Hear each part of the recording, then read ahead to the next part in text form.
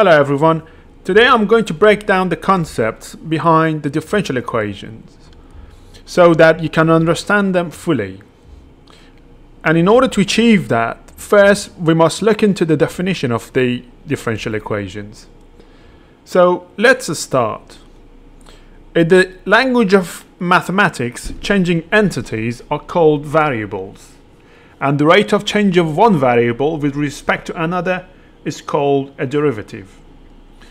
Equations which express a relationship between these variables and their derivatives are called differential equations. In both the natural and social sciences, many of the problems with which they are concerned give rise to such differential equations. But what we are interested in knowing is not how the variables and their derivatives are related, but only how the variables themselves are related. For example, from certain facts about the variable position of a particle and its rate of change with respect to time, we wish to determine how the position of the particle is related to time so that we can know where the particle was, is, or will be at any time t.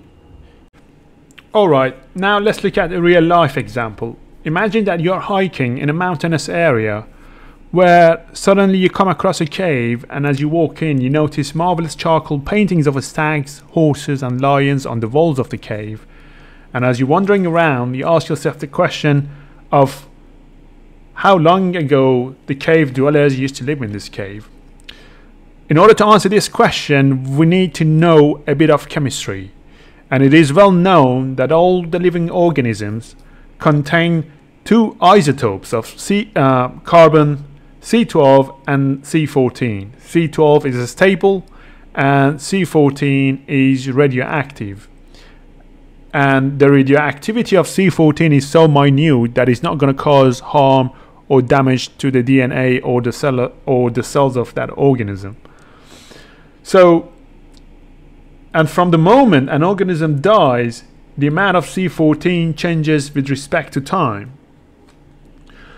So, it is also worth mentioning that the um, that the ratio of the amount of each present um, C12 and C14 in any living organism basically remains constant. And as I mentioned before, as soon as the animal dies, the C14 is going to change into C12. And in order to determine that, we asking a chemist um, to basically go there and determine uh, the amount of C14 which has been decomposed at the time of death all the way to present. Now let's assume that the chemist has come back to us and told us that 85% of C14 um, at the time of death has decomposed all the way to present. So now, in order for us to understand how the decomposition is related to time, we have to use differential equation because uh, remember that we talked about we talked about the differential equation and we mentioned that we are interested in knowing how the variables themselves are related to one uh, to to each other. So um, let's consider t as um, sorry as elapsed time and let's consider x as the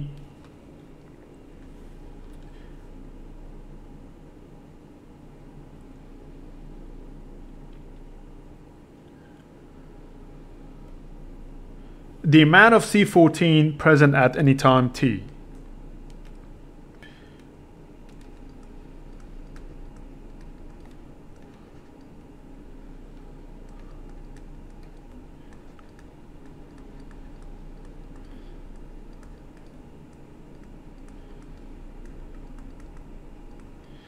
Therefore, we can we can say that the instantaneous rate of change of x based on t would be equal to again x. However we have to multiply by a constant because we don't know the total the final amount of x uh, at you know after time t. And since the amount is actually decomposing we have to use a minus here to show that x or c14 is changing to something else and it's the amount is actually reducing. All right now that we have established this relationship between our variables we have to solve this equation um, remember at one point I mentioned that this is the um, instantaneous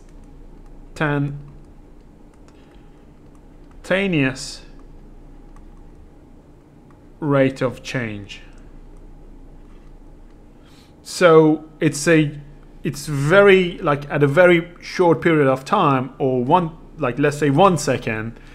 Um, however we don't know exactly how long we're looking at uh, in terms of finding how long ago the dwellers used to live in the cave. So we have to take the integration of these. So when we try to do the integration of let's say dx divided by dt is equal to minus x um, k times x since we have uh, basically dx like the, the composition over time um, we can't do this because the problem is when you do the integration the integration of let's say this is the correct way of integrating something like d of x uh, like x based on the d of x or with respect to d of x. But if you um, basically have the d of x with respect to d of t, this is not going to work. So what are we going to do now? So in order to fix this problem, we have to uh, separate our variables. And in order to do that, we have to take d of x and x on one side and then um, t uh, or d of t on the other side. So let me actually clean these.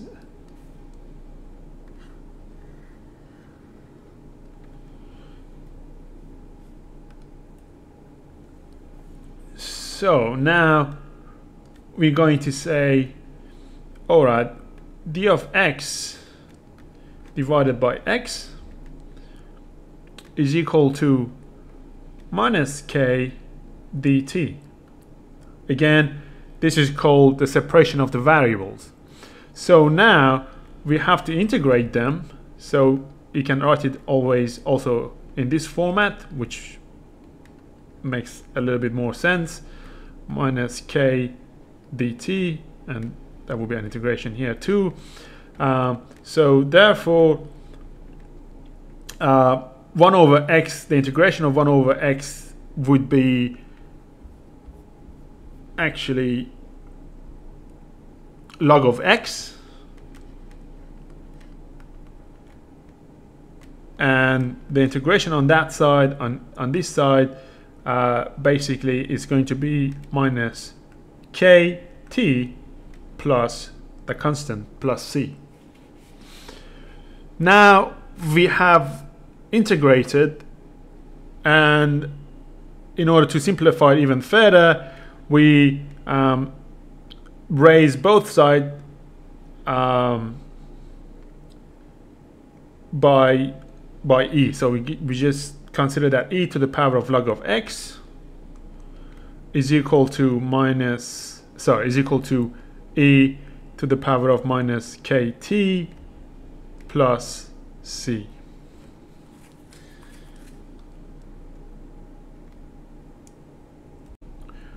All right, now let's tidy up a little bit here. So I can write it again, e to the power of log x is equal to a minus kt plus c. And again, we can simplify this further by separating um, minus kt plus c here. So that will be our equation is going to be like this e to the power of log of x is equal to e minus k t times e to the power of c. So uh, this term is exactly the same as this one.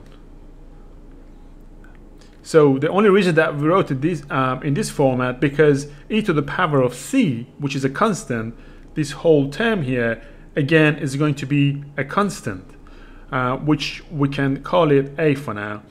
Um, therefore, our final equation is going to be like this. X is equal to e to the power of minus kt times a. So now, again, we can simplify this further. So e to the power of log of x is equal to x. And our rest of equation will remain the same. So e to the power of minus kt times a.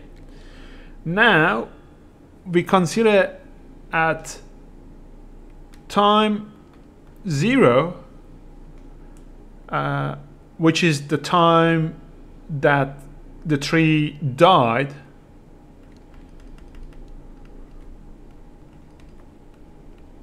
time at which the tree died. So by doing that, we can uh, it's, this is also considered as, uh, in lots of textbooks, they call this as the initial condition. So um, you have to normally set up your initial conditions and boundary conditions. So this is going to be in the future, um, basically lectures. I'm going to go through more comprehensive and difficult solutions and in order to solve those, you have to have initial conditions and boundary conditions. So now we substitute t 0 into this equation and our x is equal going to be equal to 0 times t times a um, any number to the power of 0 is, e is going to be equal to 1 and hence x is going to be is equal to a at time 0.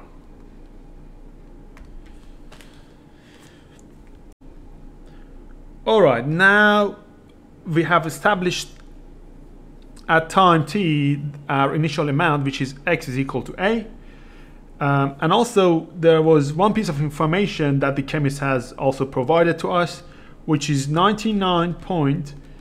99.87% of C14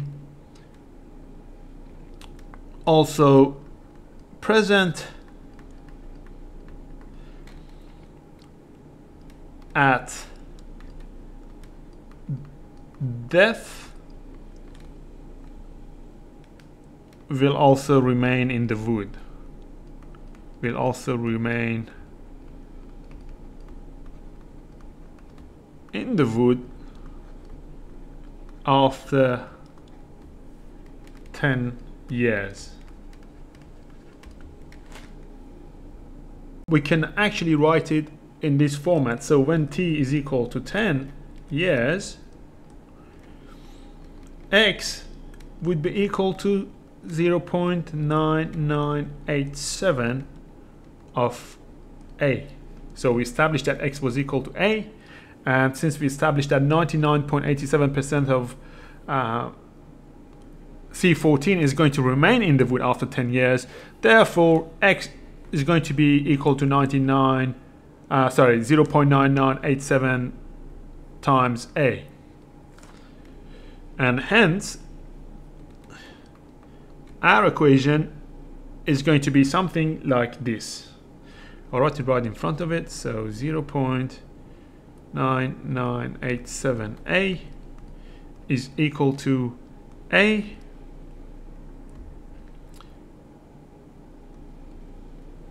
E times minus 10K.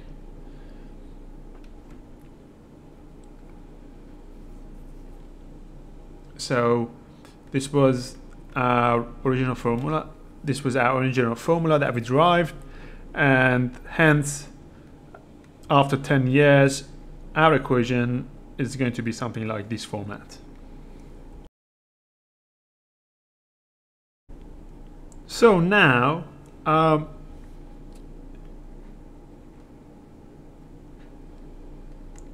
this side is um, those two a's are going to get cancelled out and we're left with 0.9987 is equal to e to the power of minus 10k and we take the natural logarithm of both sides which would be um, ln of 0.9987 is equal to minus 10k so you use a calculator and if I'm not wrong, um, natural logarithm of this number is going to be equal to minus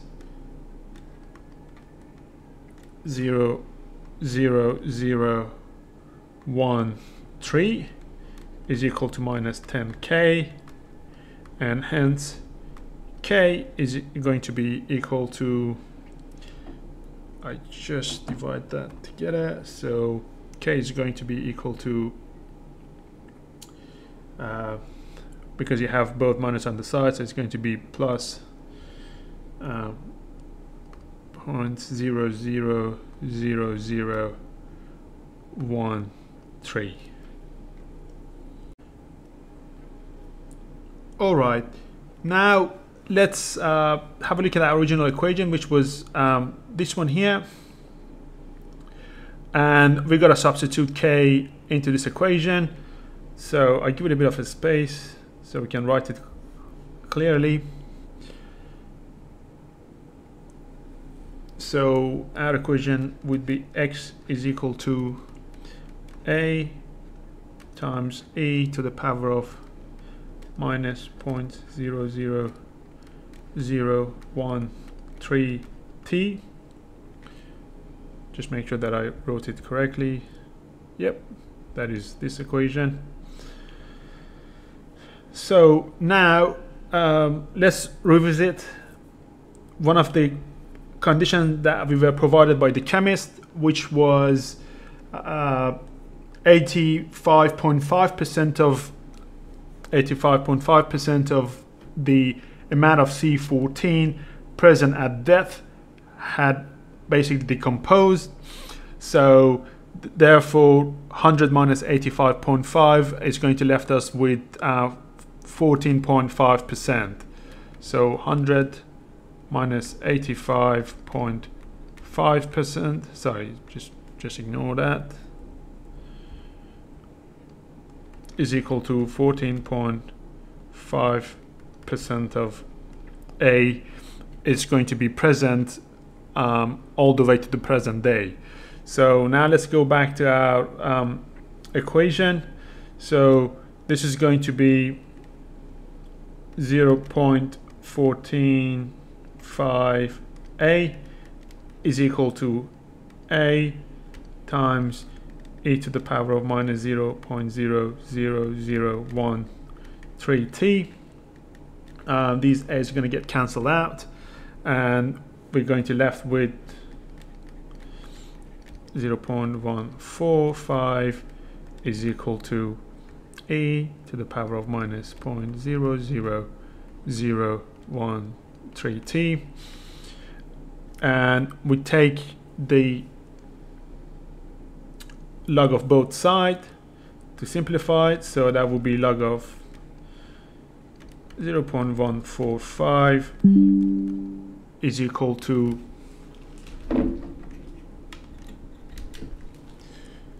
um, minus 0 0.00013t and log of so if you put that in, the, in your calculator you're going to get minus 0.838 38 is equal to minus 3 therefore t is going to be equal to 838 divided by minus 1 3 which is going to give us 6,455 years roughly. So that is going to uh, conclude the time that uh, basically dwellers used to live in that cave and what we did we first um, made we made sure that we could relate our variables to one another. And from there we established our initial condition at time uh, t is equal 0 and once we've done that we established that x was equal to a. And from there uh, we refer to our boundary condition or the the condition or the information that was provided by the chemist which uh, explained that 85.5% of the amount of C14 present at death had decomposed and therefore with this by by deducting 100 by deducting that amount from the 100 we established that 14.5% of uh, C14 was present at the time that we were interested in and hence from there we calculated the time. And hopefully uh, this has been a very basic introduction to differential equation. And um, if you have learned something uh, I hope that you basically looking at you know your future differential equation differently and you'll be able to solve them um, in a more reasonable manner. Thank you